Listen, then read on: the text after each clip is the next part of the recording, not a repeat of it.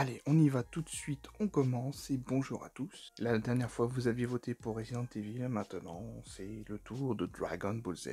Et là, quel plaisir de vous présenter cette magnifique collection de jeux vidéo. Dragon Ball, qu'est-ce que ça m'a marqué moi étant plus jeune? Le Club Dorothée, les combats, les petites histoires Namek, Cell, Freezer, Boubou, que c'était excellent. Allez, on commence tout de suite avec les jeux de la PS2 qui sont énormément sur cette console, c'est un succès incroyable. Le Budokai 1 premier, et eh ben je crois que j'ai oublié encore les jeux sur GameCube, décidément. Euh, bah, on va commencer par cela du coup. Le Budokai 2 et le 1 sur GameCube. Il me semble pas qu'il y en ait d'autres. Comme d'habitude, n'hésitez pas à me dire si j'ai euh, des petites choses qui me manquent, ça orientera mes recherches. Alors Budokai, parce que là je veux faire vraiment le full set des jeux. Donc le 2, les jaquettes sont, dingues sur PS2, elles sont magnifiques. Celle-là un peu moins. Le 2 a été complètement torché pendant ma période du lycée avec un pote. Presque on séchait les cours pour aller jouer là-bas dans son, dans son appart. Budokai Tekenshi, pareil, très très belle jaquette. Budokai Tekenshi 2, hop là, un peu recentré. Regardez-moi ces jaquettes, sont magnifiques celles-là.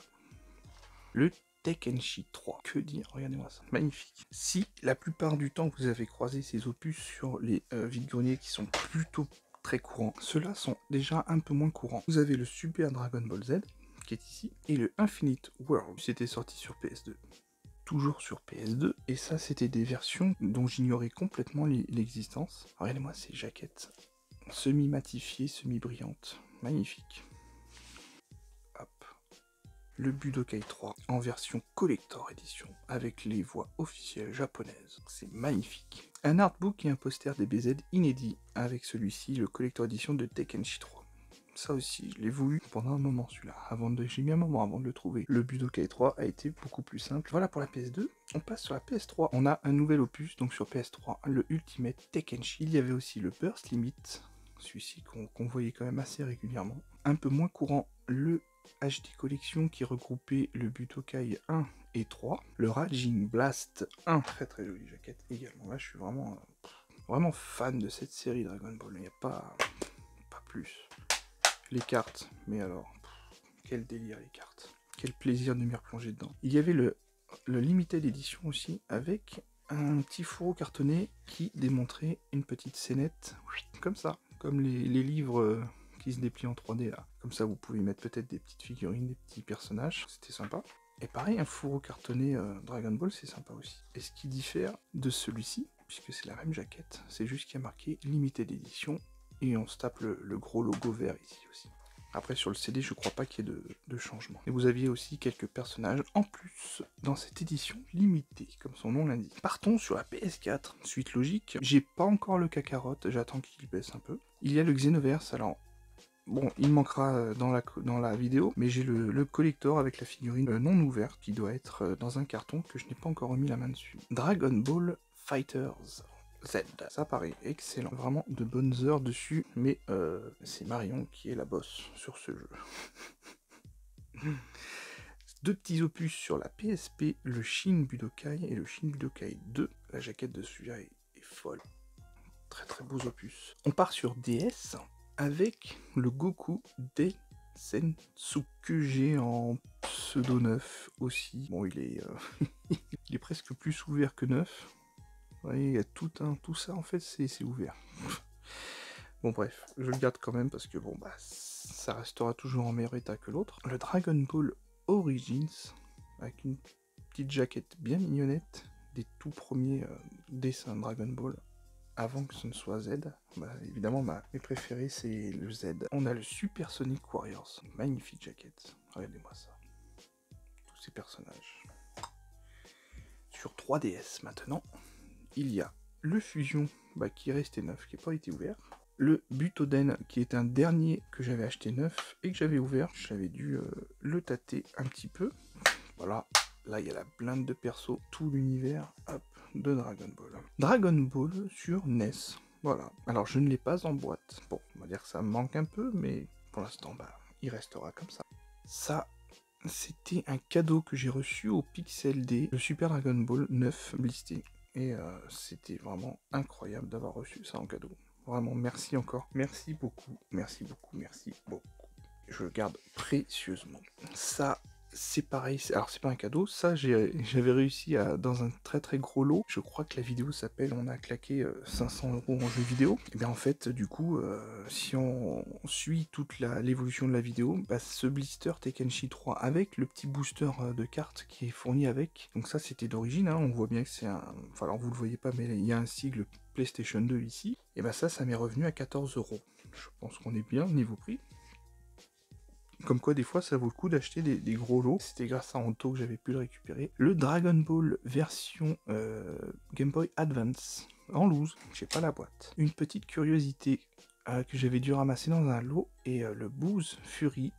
Alors ça, j'ai en version US. J'ai pas du tout d'infos là-dessus. Mais pareil, il n'y a pas la boîte. On reviendra là-dessus juste après. Et je crois qu'on va terminer donc avec ça et ça. Ces boîtes sont magnifiques. Je suis très content de les avoir. Les guerriers légendaires. Voilà, regardez-moi cette jaquette. Elle est flambante. Elle est magnifique.